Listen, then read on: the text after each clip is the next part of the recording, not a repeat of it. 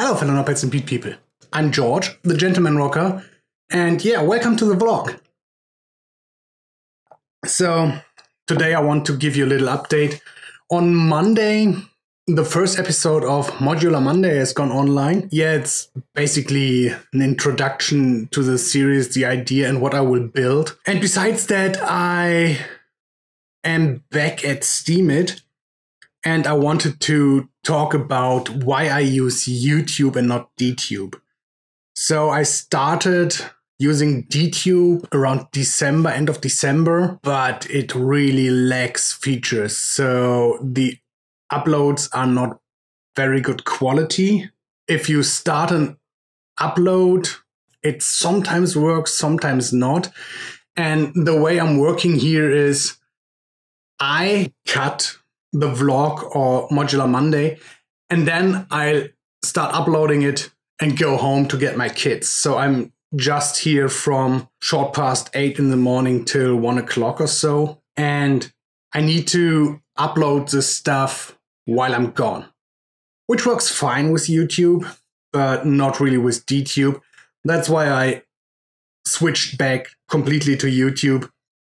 I use Steemit, of course, as another source or social media information service. I really like the idea of DTube, but it's not there right now. So, what am I up to? So, let me just uh, make me a little more comfort comfortable. Yeah. What I'm up to. So, as I said, I'm planning the second episode of Modular Monday, and I have to do some woodworking on that. So I have some wood laying around here to build stuff. And yeah, there's more.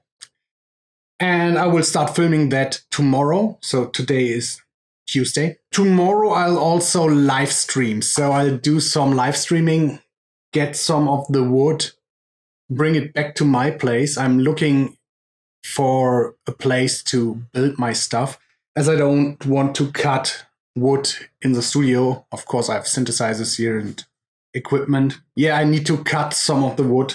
So maybe I'll do it at home, film it, and yeah, overdub it or something like that.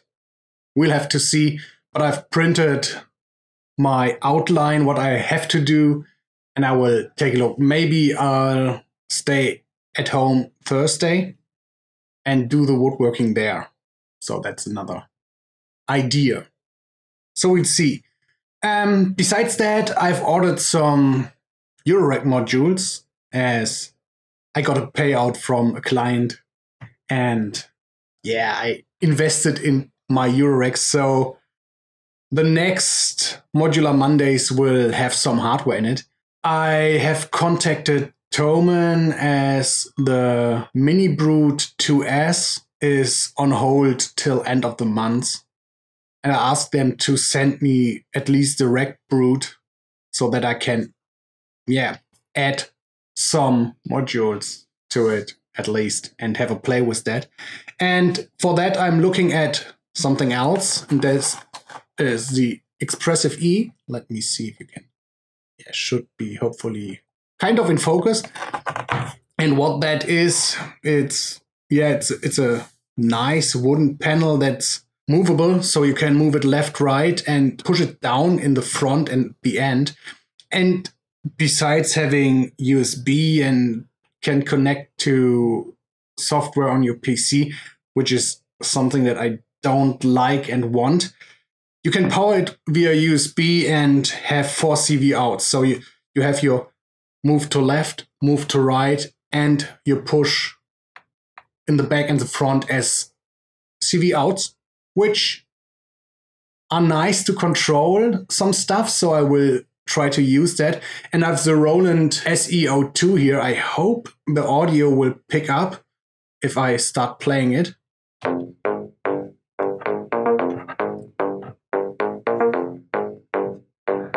Well, at least there's some sound. I don't know how good it will be, but I've just connected the CV out to the filter in. So it has CV in for CV gate and filter. Just by pressing down on the expressive E, maybe I have to rearrange you, but then my framing will suck. I will do it like this. I can now change the filter.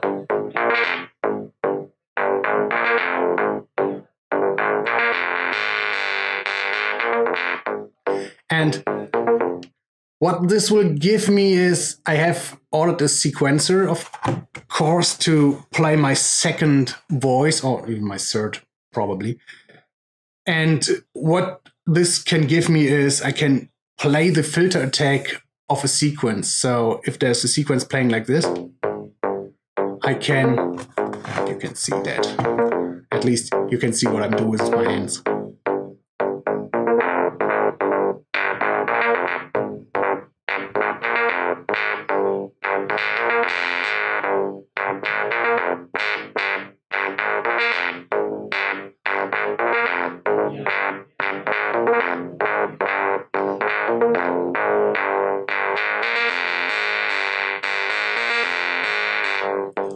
And this is just one CV. So as I say, it, it has four. So I can kind of play it. And with the left and right, I could add something like, yeah, modulation so that you can pitch bend it.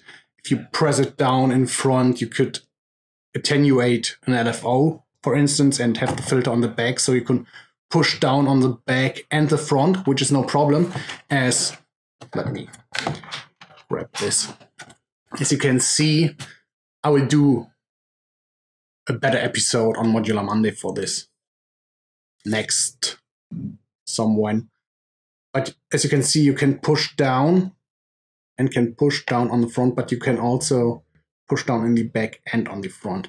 The only thing that you can't do both of is moving left and right as you have this plate which is like yeah mounted on a spring. It feels like it's mounted on a spring, so you can move it left, right, up and down. But yeah, it translates really well. And checking out the CV outs, you can. There's a CV1. If you plug it to two, there's nothing here, but.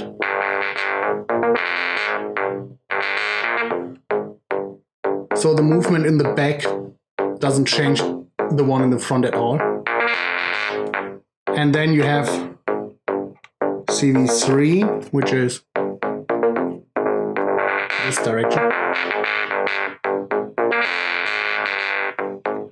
And 4 is the other one. So this is something I this is something I would send to an LFO mount, an attenuator that changes the LFO, stuff like that.